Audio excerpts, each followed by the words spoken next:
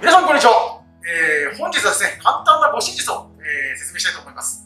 キュです、えー、シチュエーションとして、えーまあ、親父狩りにあった時胸ぐらを突かれた時掴まれた時ですね対処ですね。これを行いたいと思います。では参ります。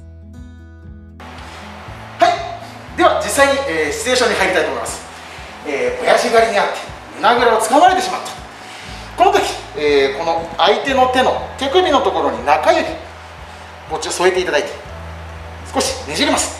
この時親指を相手の中指のこの中指骨ここですね。ここにしっかり沿わせてあげてください。しっかり返していただいたら手首相手の手首の上自分の反対の手をかぶせて向こうに押すのではなく真下に落とす。真下に落とす。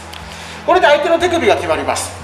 結構痛いです、えー、もう一度最初からいきます。相手掴まれて手首の中指を添えていただいて親指。相手の中腰骨脇を閉じて上から乗っかるイメージ真下に落とす。こうですね。で実際に、えー、シチュエーションとして流れやってみたいと思います。参りましょう。